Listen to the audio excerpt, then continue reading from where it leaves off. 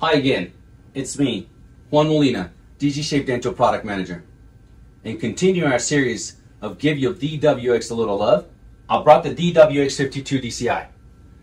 We will discuss the latest feature added to V-Panel, Disc Changer Adjustment. We'll check the adapters, the position of the C-clamp, and then we'll test it.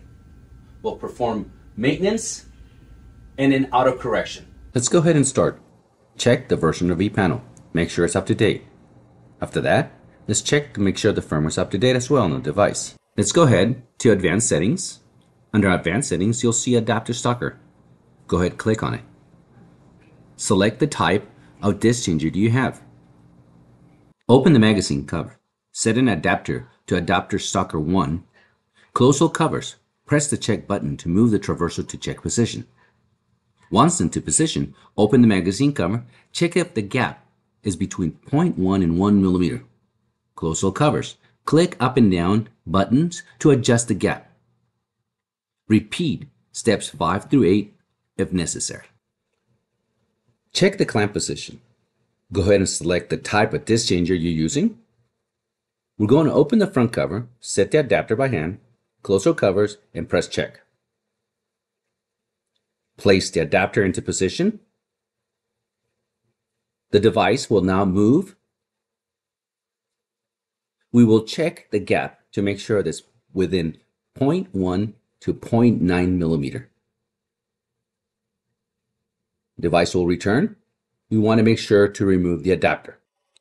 We will scroll down now and check to make sure the traverser, arm, and the window have sufficient space. There's a gap in between. Now we're going to run a disc change test. Check, make sure there's no adapters in position in the clamp. Place an adapter in locations 1 and 4 and run the test. The device will move, pick up the adapters from the stocker, and place them in the C-clamp.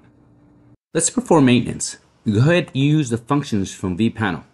Click all the buttons to ensure that you're going through the right procedures. This information will also be logged in the system.